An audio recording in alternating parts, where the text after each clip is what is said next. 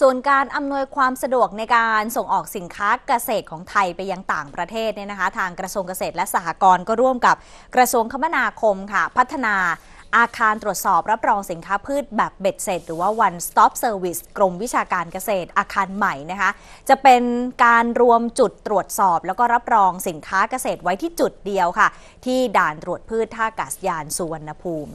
โดยมีนางสาวมนัญญาไทยเศษรัฐมนตรีช่วยว่าการกระทรวงเกษตรและสหกรณ์เป็นประธานเปิดอาคารนะคะ ซึ่งถือว่าเป็นการยกระดับสถานที่ตรวจรับรองสินค้าเกษตร ให้เทียบเท่ามาตรฐานสากล ที่สำคัญก็คืออำนวยความสะดวกในการส่งออกสินค้าเกษตรไปยังต่างประเทศ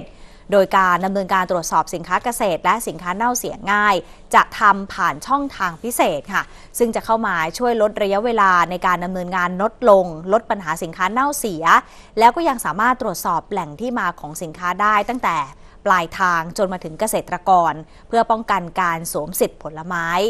ปัจจุบันด่านตรวจพืชท่าอากาศยานสวนภูมิกรมวิชาการเกษตร ได้ย้ายมารวมเป็นจุดบริการเดียวทั้งหมดนะคะ โดยใช้พื้นที่อาคารคลังสินค้าที่ 4 เป็นศูนย์บริการตรวจสอบด้านสุขอนามัยพืช แล้วก็ออกใบรับรองสุขอนามัยพืช จะแบ่งพื้นที่ออกเป็น 2 ส่วน คือ ส่วนบริการแบบพิเศษ และส่วนบริการแบบปกติค่ะ